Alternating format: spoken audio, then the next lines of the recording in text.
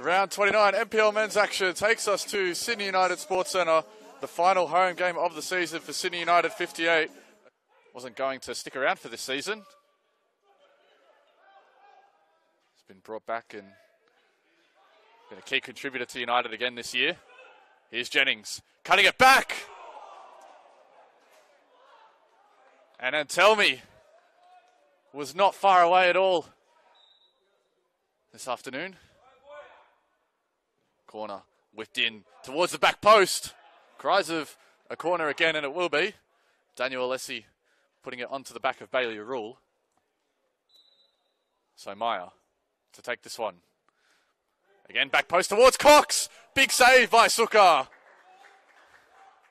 Cox again. Maki Petratos. Costa Petratos, rather. Now here's Alex Kiriakou. Low driven cross. Petratos goes down. The shot comes from Cox. Another good save by Sukkar. Here's Leroy Jennings. Now with Devontae Clute. Splits the defense. Devontae Clute. It's with Antelmi, who tries the shot. Has hit the woodwork.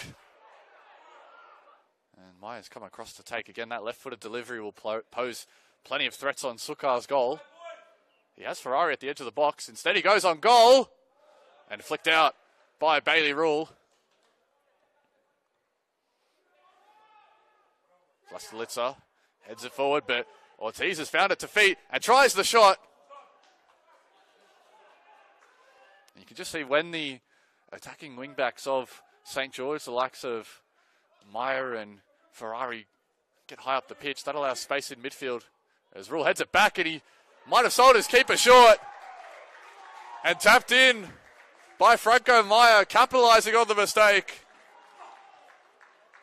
It was nodded back by Bailey Rule, and Franco Meyer did not give up on the play. And this time, Sukkar is beat. Might be only one more opportunity for a counter. They're looking to make it work as Jennings is bursting away. Has Antelmi with him. Here's Jennings. Big save by Yaron Souza. Breaking down the wing. Cuts for himself. Holds up play, uses Meyer. Still, Costa Petratos. Ferrari looking to dig one behind for Cox. Frame of the goal. Still here with Pelicanos for St. George. Now, Costa Petratos tries the strike. And again, seen away by Sukkar. Now with Pelicanos. Here is Alessi. Off the back of Petratos. And Cox has gone down. And it's a penalty. Sukkar is adjudged to have tripped up Cox as the pair of them were contesting the ball. Petratos against Sukkar. And he slots it. Goes down the middle. Sukkar dived away to his right. And St. George make it 2 0 with 25 minutes to go here at Sydney United Sports Centre. The penalty won by Cox and converted by Costa Petratos. Five minutes of regulation time remaining. Here comes the delivery from Bilic. It'll be on Souza's goal. So we now at the discretion of the referees. Four minutes gone. Full time here at Sydney United Sports Centre.